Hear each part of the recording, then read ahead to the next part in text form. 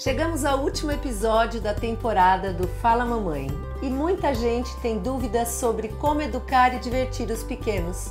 Mas não se desesperem, porque tenho algumas dicas que vão facilitar a vida de vocês. Dica número 1: um, Para ver os pequenos felizes, você não precisa dar tudo de mão beijada, não. Desde muito cedo, você pode educá-los e dar pequenas responsabilidades para estimular o desenvolvimento deles, como ensinar a guardar e organizar os brinquedinhos. Dica número 2: Educar e brincar é sempre uma receita de sucesso, principalmente nos primeiros anos de vida. As brincadeiras podem entreter e até estimular os bebês a desenvolverem os sentidos, a coordenação motora e o aprendizado.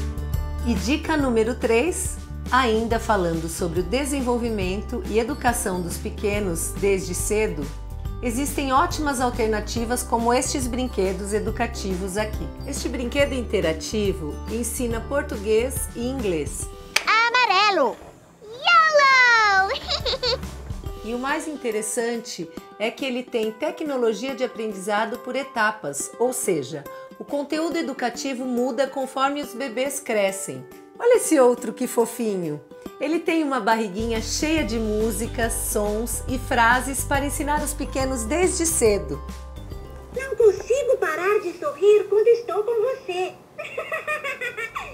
E para a festa ficar completa, tem também esta bolinha que estimula os pequenos a engatinharem atrás dela por causa das cores. E estes veículos com seus animaizinhos que são perfeitos para o tamanho das mãos pequenas dos bebês.